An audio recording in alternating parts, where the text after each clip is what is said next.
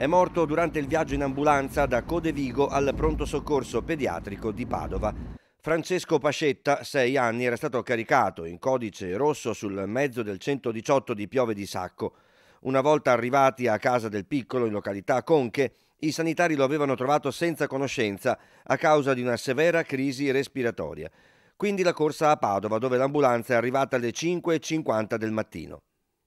Dalle informazioni fornite dall'azienda ospedaliera di Padova, da mercoledì 27 aprile Francesco era risultato positivo al SARS-CoV-2 a seguito di un tampone effettuato a Chioggia. È stato richiesto un riscontro diagnostico. Il magistrato ha disposto l'autopsia. Il piccolo avrebbe compiuto sette anni il prossimo 11 maggio.